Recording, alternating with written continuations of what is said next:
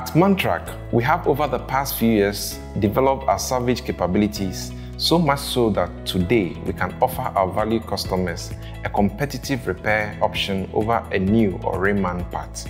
This initiative further helps reduce repair costs through the entire life cycle of your equipment. We follow strict Caterpillar recommended repair procedures that come with like new dealer warranty.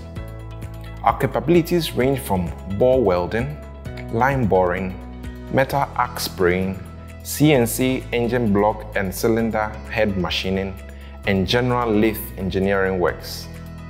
These services extend to non-Cat products as well as processing plant or static equipment. All components that come are stripped, cleaned and inspected.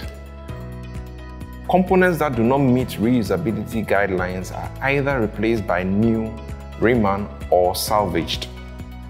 Should there be a salvage procedure available, this will be recommended and quoted for.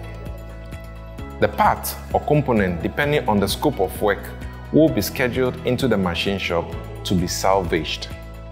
Once completed, the part or component will go through quality control checks and then return to the production line for final component assembly.